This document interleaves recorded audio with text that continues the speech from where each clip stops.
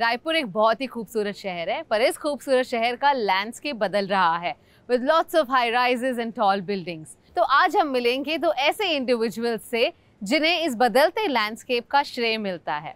On this episode of the celebrity talk show let's welcome Santosh Lohana and Ashish Jain of Ashtavinayak realties Santosh ji Ashish ji स्वागत है आपका the celebrity talk show में। आप लोगों ने तो रायपुर का छत्तीसगढ़ का लैंडस्केप ही बदल दिया है विद योर हाई राइजेस तो पहले तो मैं ये जानना चाहूँगी कि किस तरह से आप पैशनेट हुए रियल एस्टेट स्पेस के बारे में और आपकी एंट्री कैसे हुई इसमें? हमारी एक कैंटीन थी। हाँ जी। तो वहाँ वो हमारी कम से कम पच्चीस बताइए बात बता रहा हूँ आपको टू थाउज़ेंड की। अच्छा। उस समय जब मैं वहाँ पे कैंटीन देखता था पापा की कैंटीन थी बहुत अच्छी हम लोग चलाते थे।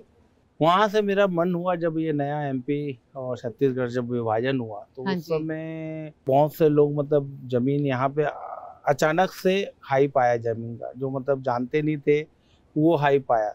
तो उस समय फिर सबको देख के मेरे दोस्त यार सब काम करते थे तो एक मन हुआ चलो यार इसमें एक ट्राई किया जाता है।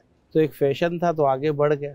2007 के बाद मैंने सफ़र चालू किया। सफ़र चालू करने के बाद लोगों से मिला एक जने से मिला दो जने से मिला। 2010 में मैं सोचे कि साथ मिलके 10-12 लोग काम करते हैं। अच्छा। तो 10-12 लोग मिलके साथ में काम किए फिर उनके साथ आगे बढ़े फिर 10-12 के साथ फिर दूसरी टीम बनी तीसरी टीम बनी।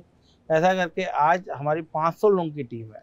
कारवा बढ़ते गया। अच्छा और अब तक कितने प्रोजेक्ट्स आपके कंप्लीट हुए और कितने आने वाले हैं? दस हम कंप्लीट हैंडओवर दे चुके हैं अच्छा। दस रनिंग में। और आशीष जी, आपका क्या कहना है छत्तीसगढ़ एज अ मार्केट के बारे में just in terms of real estate क्या यहाँ पे प्राइजेस अप्रिशिएट हुए हैं जब से कंपनी शुरू हुई है? और क्या फ्यूचर लगता है आपको? किस तरह से बढ़ रहा है रियल एस्टेट रायपुर का जो ग्रोइंग है पेन इंडिया में और सेंट्रल इंडिया में सबसे तेज भागने वाले शहरों में से एक है। जब अविभाजित मध्य प्रदेश था 2000 के पूर्व तो उस समय मध्य प्रदेश का जो ग्रोथ था और छत्तीसगढ़ का जो वर्तमान दृश्य है वो कहीं भी एक रूपता में नहीं था। और जब 2000 में ये छत्तीसगढ़ और मध्य प्रदेश का विभाजन हुआ तो उस समय फिर छत्तीसगढ़ का हाइप और छत्तीसगढ़ का क्रिएशन बढ़ता चला गया और उसके बाद लोगों को रियल इस्टेट और उसका अपग्रेडेशन समझ में आया। 2006 में मेरा रियल इस्टेट स्टार्ट हुआ नागपुर महाराष्ट्र से। अच्छा, लगभग दो चार पाँच साल अलग अलग बिलासपुर रायपुर नागपुर ऐसा करते करते भैया के साथ पिछले पाँच से आठ वर्षों से मुलाकात पे हूँ मैं और पिछले पाँच से आठ वर्षों से साथ में काम करते हुए अपन साथ में जो भैया ने बताया दस प्रोजेक्ट हम हैंडओवर कर चुके हैं और दस प्रोजेक्ट हमारे ऑन गोइंग और छः अपकमिंग है। तो ये जानना चाहूँगी कि रायपुर के लोग तैयार है हाई राइजेस बिल्डिंग्स अपार्टमेंट्स में रहने के लिए। और कब से ये तैयारी शुरू हुई और आगे क्या क्या होने वाला है उनके लिए?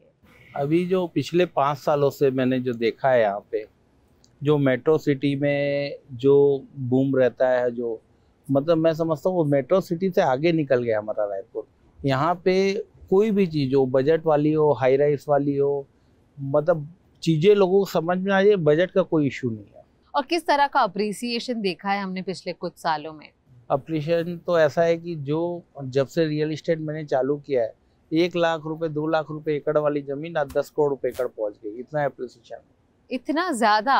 उसके कारण है हाँ। एक्चुअली कामयाब। जैसे किसी भी क्षेत्र शहर और राज्य को बढ़ने के लिए दो तीन बहुत बड़े पैरामीटर चाहिए जिसमें एजुकेशन कमर्शियल और इंटरटेनमेंट ये दो तीन चीज़ें बहुत ज़्यादा आदमी विभाग में देखता है कि किस तरीके से हम अपने आने वाले जनरेशन को एक बड़ा अप्रिसिएशन दे सकते हैं। रायपुर इकलौता ऐसा शहर है पूरे पैन इंडिया में जहाँ तक मुझे जानकारी है कि जैसे एक परिवार को सबसे पहले एजुकेशन फिर मेडिकल और फिर कमर्शियल ये तीन चीज़ें किसी भी परिवार को सबसे पहले चाहिए।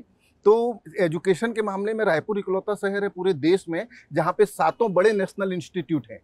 IIT, IIM, triple IT, NIT, Hidayatullah national law institute, AIIMS और एनआईएफटी ऐसे सातों बड़े national institute only in Raipur ऐसा कोई और शहर नहीं है देश का जहाँ पे सारी चीज़ें हों।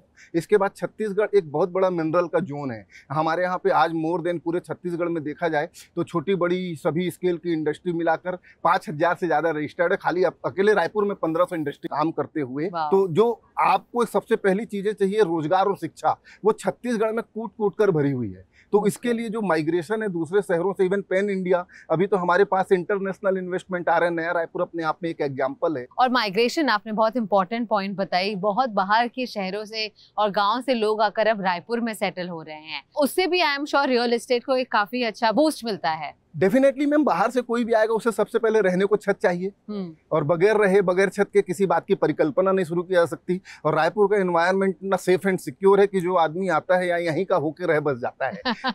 ये हमारे आपस में छत्तीसगढ़ या सबले बढ़िया हमारा कोटेशन भी बोलते हैं। हाँ पैन इंडिया इस बात को जानते हैं कि हम बगैर किसी इफ़ एंड बट के हमारे यहाँ के लोग आपस में प्रेम व्यवहार से रहते हैं। और उतना ही एक दूसरे की जाति भाषा बोली धर्म का मान सम्मान करते हुए आगे बढ़ रहे हैं। तो माइग्रेशन का रेशियो तो हमारे यहाँ बहुत ज़्यादा है। बिल्कुल।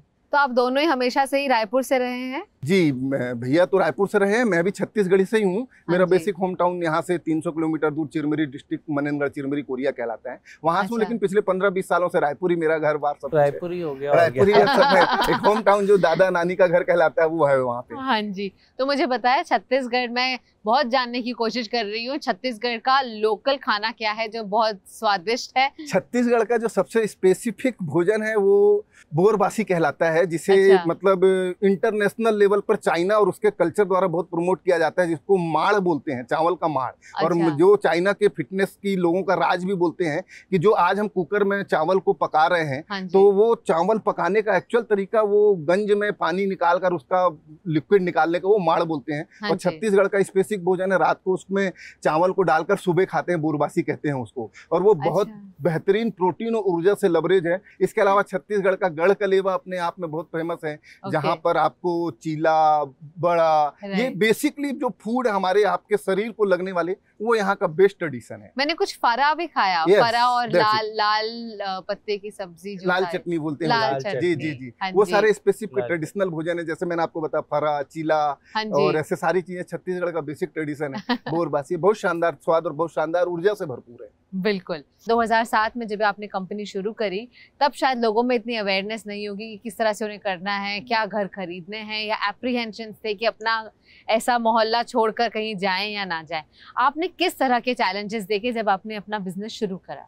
जब हम स्टार्ट किए तो पहले तो हम खुद स्किल में थे सीखने के लिए। हम हम्म। खुद पहले ट्रेन सीखे। उसके बाद फिर जब हमने ज़रूरत समझी लोगों की हम्म, तो ज़रूरत समझने के बाद फिर हम लोगों को स्किल देना चालू किए। जैसे क्या है एक घर आज बैंक फाइनेंस सुविधा बहुत है। हम्म, आज हंड्रेड परसेंट बैंक फाइनेंस मिलता है। तो आपको सिर्फ़ थोड़े पैसे पाँच परसेंट पैसे लगाने नाइन्टी फाइव परसेंट बैंक देगी आपको। हम्म, तो इस हिसाब से अपन करते गए जिनके पास मकान नहीं उनको मकान दिए जिनको अच्छा इन्वेस्टमेंट कराना उनको अच्छा इन्वेस्टमेंट कराए ऐसे हम लोग करते गए हर चीज़ को। और ऑफ़ कोर्स आज आपका बिज़नेस बहुत अच्छी तरीके से फ्लरिश कर रहा है प्रोग्रेस कर रहा है। क्या फ्यूचर प्लान्स है आपके? कहाँ लेकर जाना चाहेंगे अष्टविनायक रियल्टीज को आप in the future pan India हम लोग काम कर रहे हैं अभी।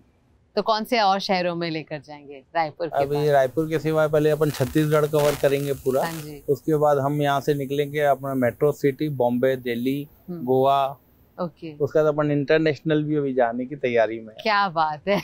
अभी एक्चुअली हमारे साथ ऐसा है कि हमने जो सीखा कि कोई भी काम आप बिना सीखे नहीं कर सकते सभी के साथ है। Right. तो बेसिकली प्राइमरी सेल से स्टार्ट होता है लोगों को कंसल्टेंट करना लोगों को अवेयर करना कि आपको क्या जरूरतें हैं। तो सभी की जर्नी वैसे ही स्टार्ट होती है हमारी भी वैसे हुई। और समय के साथ बढ़ते चले गए। आज भैया को लगभग 20 वर्षों से ज़्यादा का अनुभव है मुझे 18 वर्षों का अनुभव है। लास्ट टू ईयर बिफोर 2022 में एज ए डॉक्टरेट ऑनर्ड हुआ मैं रियल इस्टेट सेक्टर में। छत्तीसगढ़ अच्छा। से पहला फ़र्स्ट हूँ जिसको डॉक्टरेट हुआ तो ये सारी चीज़ें हम अपने लोगों को अब बता रहे हैं। और हमारी टीम सिर्फ़ छत्तीसगढ़ नहीं आसपास के सेंट्रल इंडिया में पूरी है हम्म। और उस तरीके से हमारे इन्वेस्टमेंट भी आ रहा है और हमारा एक्सपेंशन उधर चल रहा है। तो अभी हम अभी सेंट्रल इंडिया में शुरुआत करेंगे जो आसपास के बड़े शहर हैं। प्लानिंग हमारी है धीरे धीरे सब पता लगेगा क्योंकि सारी पत्ते खोलना भी उचित नहीं है। तो जैसे जैसे चीज़ें बढ़ती जाएँगी तो हम आपके साथ और रूबरू होंगे। अभी बहुत जल्दी हम इंडिया के बाहर भी कदम रखने वाले हैं। सारी तैयारियाँ चल रही हैं हमारी। एक पत्ता ज़रूर खोलिए लेकिन जी। कि यहाँ से रियल एस्टेट के प्राइसेस और कितने बढ़ेंगे। क्या हम ऑलरेडी पीक पर पहुँच चुके हैं कि यहाँ से प्राइसेस और नहीं बढ़ेंगे आप बता रहे एक लाख जो प्राइस था उसका दस करोड़ हो चुका है तो अब और कितना आगे बढ़ेगा ये प्राइसेस रियल इस्टेट बढ़ता रहेगा। ग्रोथ दस परसेंट की पर ईयर आते रहेगा।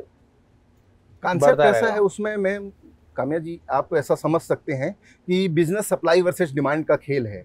किसी भी चीज़ की जितनी सप्लाई और डिमांड बैलेंस बना रहेगा सप्लाई कम हम्म, डिमांड ज़्यादा रेट बढ़ेंगे। डिमांड कम सप्लाई ज़्यादा रेट गिरेंगे और रियल इस्टेट बेसिकली कभी प्रोड्यूस हो ही नहीं सकता इसका प्रोडक्शन नहीं हो सकता। हम्म, तो ये आप भूल जाइए कि रियल इस्टेट कभी बढ़ेगा नहीं। हम्म, और ये अभी रायपुर का यदि स्पेसिफिक बात करें तो ये तो स्टार्टिंग है रायपुर का। अभी हम जिस लेवल पे बात कर रहे हैं नॉर्मली मेट्रोपॉलिटन में हम वन बी की बात पचास लाख रुपए साठ लाख रुपए में करते हैं जो आपको बहुत अच्छे से पता होगा। तो हमारे यहाँ पचास साठ लाख में टू थ्री बी मिल जाता है। स्टार्टअप पे। लग्जरी हमारे यहाँ पाँच सात करोड़ की भी डील होती हैं हम्म, हम्म, लेकिन वो हमारा जस्ट अभी स्टार्टिंग है जे रायपुर सिटी और छत्तीसगढ़। तो ये तो अभी हम अपने उस पैरामीटर जहाँ से अभी शुरुआत की है कि यूँ तो चला ही अकेला था मैं जनाबे मंजिल और लोग मिलते गए कारवा बनता गया। अभी तो जस्ट शुरू हुई है कहानी हमारी। बिल्कुल तो अभी तो बस शुरू हुई है और पिक्चर अभी बाकी है। अभी बाकी तो बहुत अच्छा लगा आप दोनों से बात कर कर। Thank you so much for being a part of the celebrity talk show thank you thank you